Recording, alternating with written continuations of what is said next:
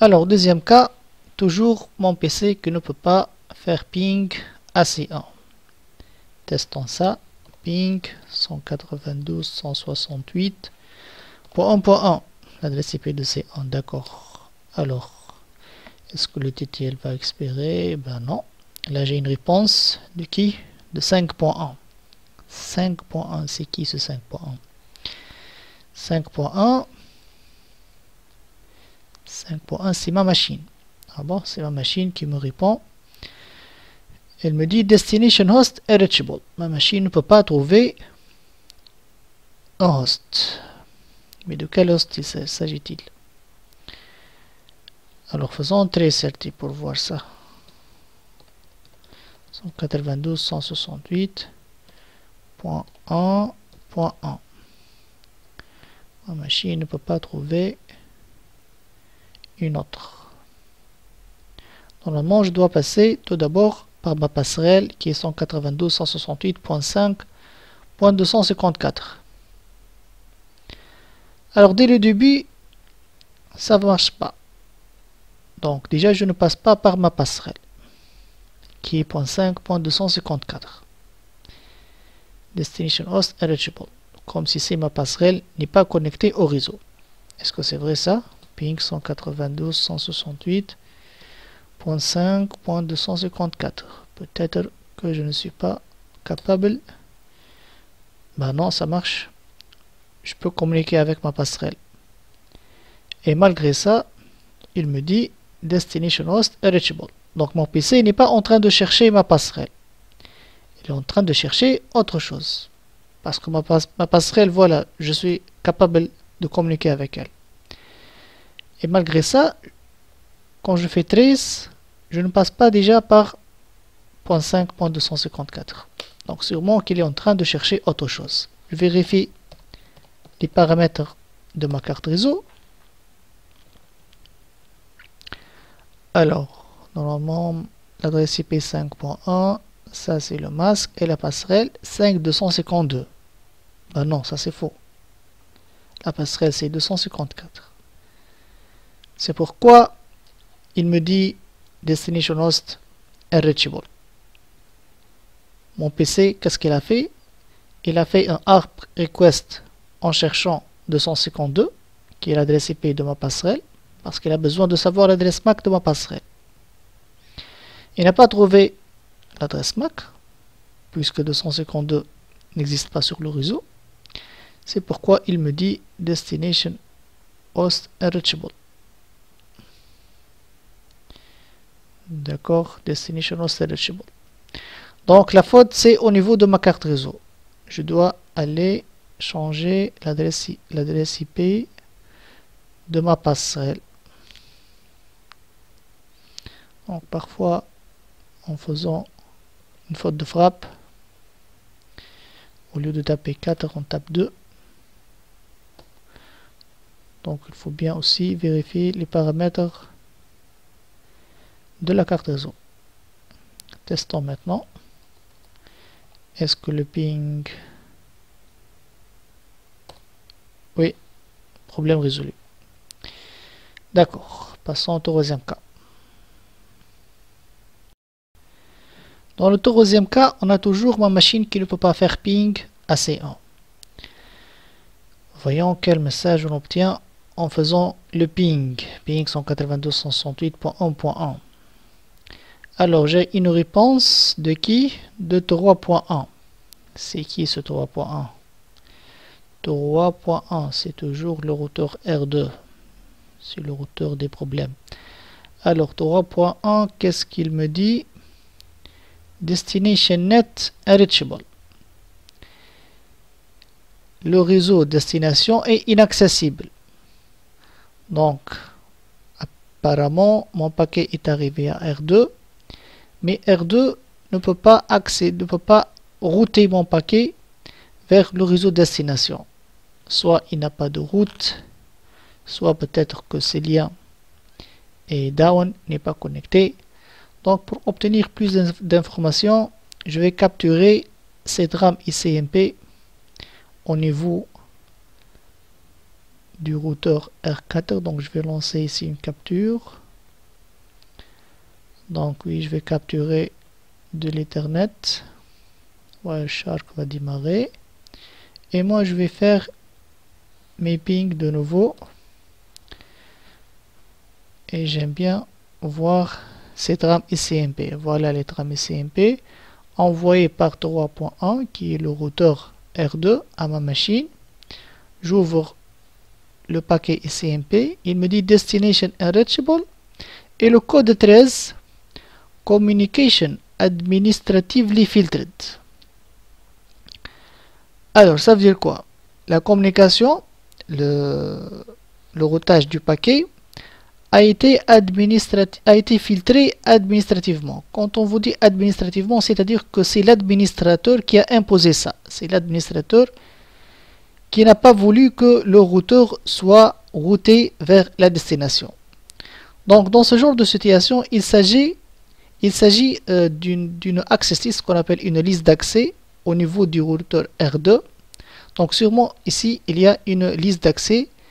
C'est utilisé pour des raisons de sécurité, pour filtrage. Donc le routeur est configuré de telle sorte qu'il ne route pas le trafic entre C2 et C1. D'accord? C'est pourquoi on a reçu le message Destination Net Reachable. Donc le réseau destination est inaccessible parce que parce que le routeur est configuré de la sorte. Donc il y a une liste d'accès ici qui ne permet pas euh, de router le paquet. Donc parfois il est aussi utile de capturer, de capturer le paquet ICMP pour avoir plus d'informations. D'accord, on passe au quatrième cas.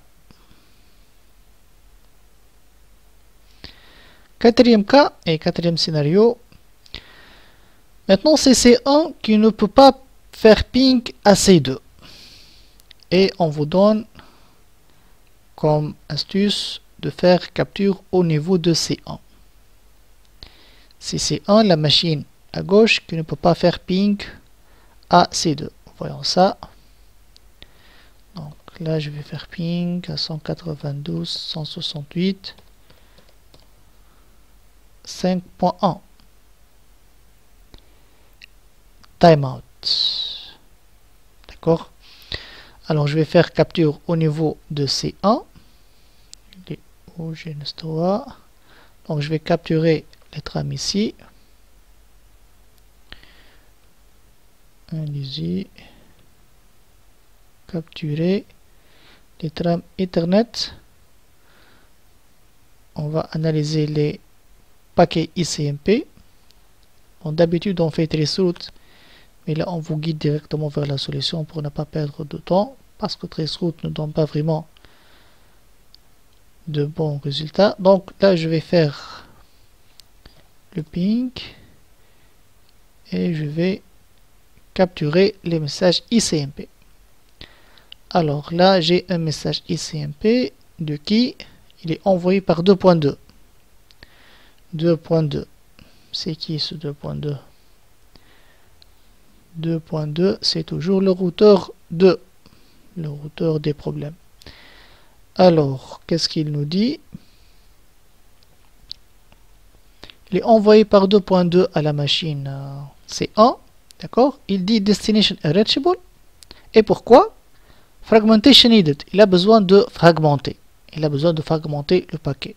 Et alors pourquoi il ne le fragmente pas? Parce que au niveau de l'entête du paquet, du paquet ping, qu'est-ce qu'il y a? Le flag dont fragment est positionné à 1. Donc la machine C1, quand elle a envoyé le ping, déjà elle a envoyé un ping de taille 84 octets. Et elle a besoin de le, de le fragmenter. Pourquoi? Parce que parce que le réseau suivant, c'est-à-dire le réseau suivant, c'est-à-dire cette liaison série entre R2 et R3 a un MTU de combien? De 64 octets seulement, alors qu'on veut envoyer 84 octets. Donc le routeur R2 a besoin de fragmenter le paquet en deux.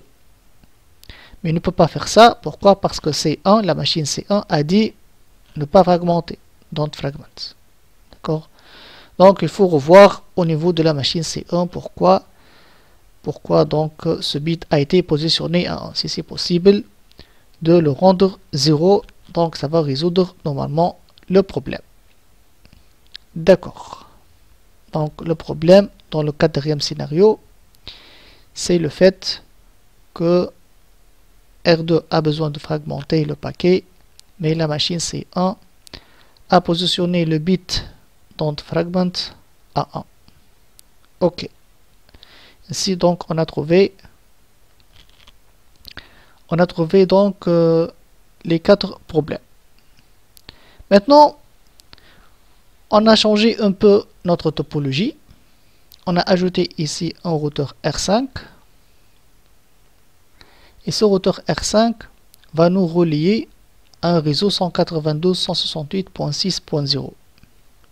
D'accord? Maintenant, ma machine C2, la passerelle au niveau de C2, c'est qui? C'est .5.254, qui est R4, n'est-ce pas? Donc, pour que ces deux puissent communiquer avec ces trois, il va falloir, ajouter ici une route, une route statique, qui dit au routeur R4, pour atteindre le réseau point 6, il faut passer par R5, qui est point 253. On a vu que dans ce genre de scénario, R4 va envoyer à ces deux un message ICMP de type redirect pour lui dire si tu veux communiquer avec le réseau 6, allez-y passer directement par 253. Pas besoin de m'envoyer vos paquets à moi.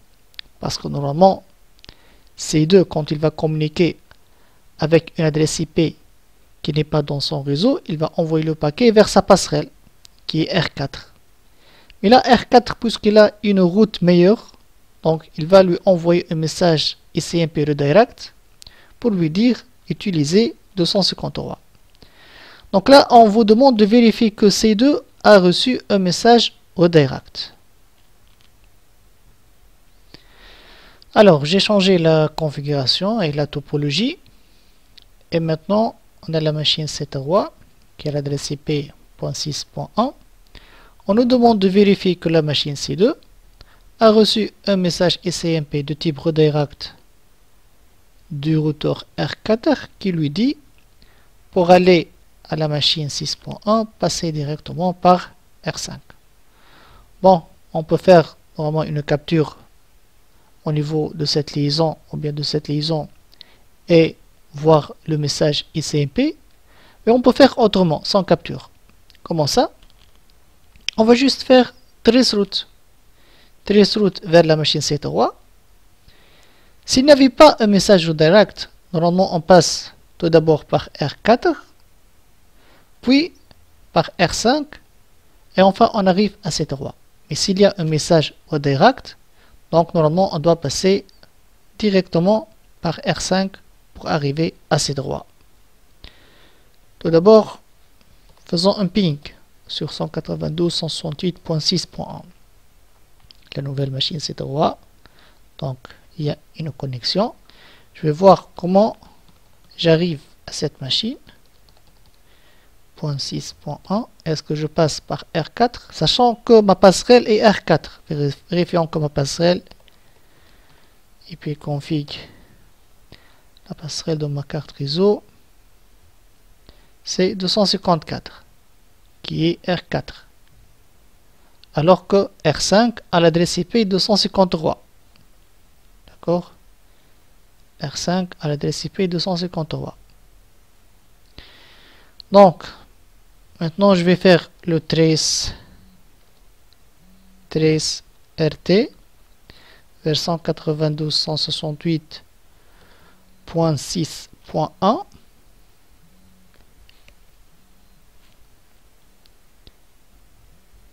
et on passe par qui? Par 5253 qui est le routeur R5 pour arriver à la destination Voilà, on arrive à la fin de cet exercice. J'espère que j'étais clair. Merci pour votre attention. Au revoir.